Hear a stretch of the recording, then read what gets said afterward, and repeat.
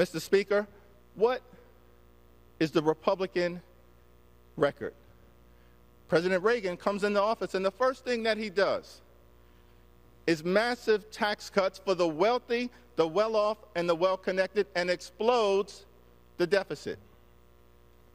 President George W. Bush comes into office 2001, 2003, massive tax cuts for the wealthy, the well off, and the well connected, two failed wars, a deep recession, explodes the deficit.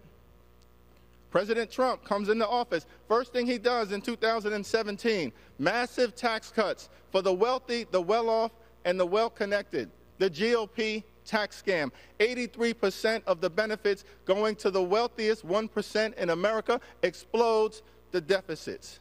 How dare you lecture America about fiscal responsibility when the record shows